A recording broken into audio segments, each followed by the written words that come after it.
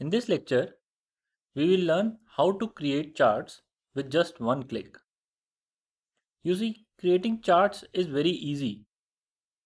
But creating a chart that will convey the message is difficult.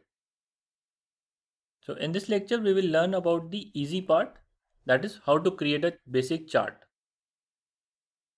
In the later part of the course, we will learn how to create the amazing charts which convey the message.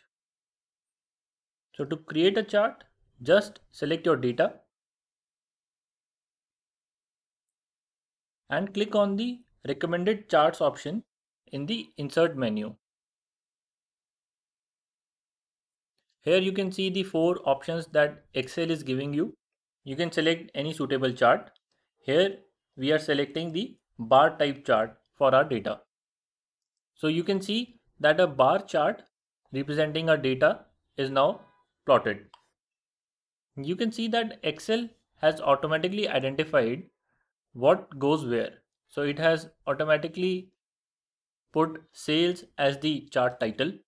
These Jan, Feb, March, April, these were the months have been given as the horizontal axis labels and vertical axis labels have been pre have been decided by the Excel itself. Excel also provides some default design options and layout options. If we go to the design tab, we can change the structure of our chart. There are few default layout options available. You can hover over each of these to get a preview of what will happen in your chart area. There are also color options available and some theme options available. You can change the color of the chart using these options.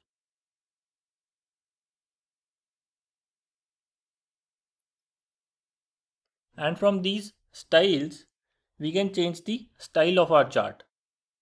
So if I hover over this black one, you can see that it has a black background. The bars are having green outline and they are transparent